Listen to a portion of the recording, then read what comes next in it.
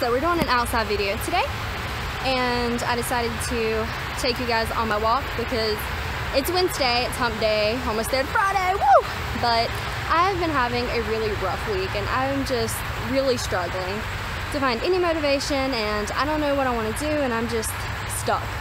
I don't know any other word. I'm stuck and I'm motivated. So I decided today I was going to change up my scenery and do something different and that means I left the house basically because usually I'm inside on the computer doing homework, doing something like totally online. I never leave the house, never leave inside basically. And going on this walk, and I'm gonna go to Amelie's, which is a coffee shop after this to get work done, has been a great idea.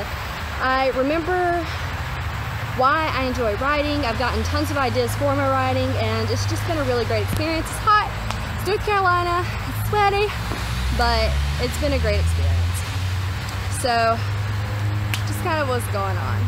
I'm just having a big struggle, and I've been trying to remind myself of why I like to do the things I do and the reasons for those. But just really a quick update, you know, a little bit different out of the house. Woo. Basically, all I really wanted to say is that if you're having a hard time writing or doing something that you really enjoy doing, just try to remind yourself what brought you to that to begin with and why you enjoy it so much. And take a step back, take a break, do what you need to do, and just get back into it. I mean, I've been struggling between grad school, wanting to write, trying to figure out what I want to write, if it's short stories, novel, what, and trying to stay fit, just and having a full-time job. Trying to put everything into one is really overwhelming. So I've been struggling with that a lot, and it's just kind of also reminded me that I need to remember what makes me happy and to do the things I want to do and not stress it so much because the more I push myself to write and read, the more I don't want to do it. So I'm just reminding myself it's something I love to do, something I enjoy, and it's got to stay that way or else I'm not going to want to do it. And I hope you guys can do the same, encourage yourself in the same way. Okay, so I'm all done with my walk. I had a very short time at Amelie's. I was getting my resume together. And yes, I look a mess. This is what happens when Brittany goes on walks and gets all hot and sweaty in this nice North Carolina humidity. But anyways, I just feel like I've lost myself lately and I'm, I'm about to come back to her. I feel like my personality's just kind of gotten dead. It's just like, meh.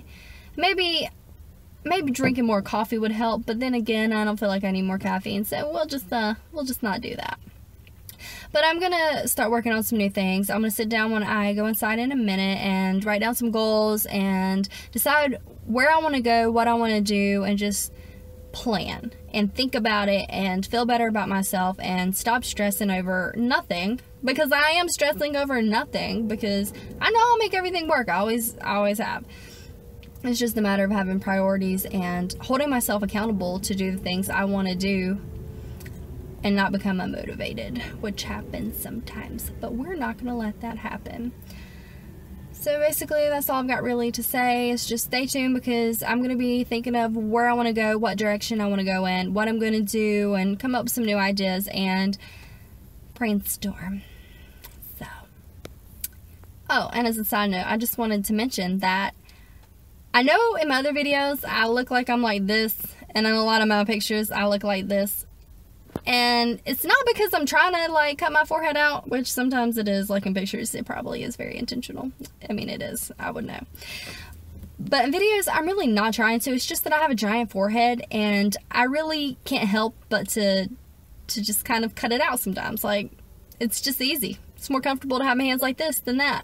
And I feel like it's not the correct angle, even though it is but it's just because I got a big forehead. So I'm gonna, I'm gonna end it with that. So you guys have a happy hump day and have a great weekend. And I'll talk to you guys, I don't know when, but some other time.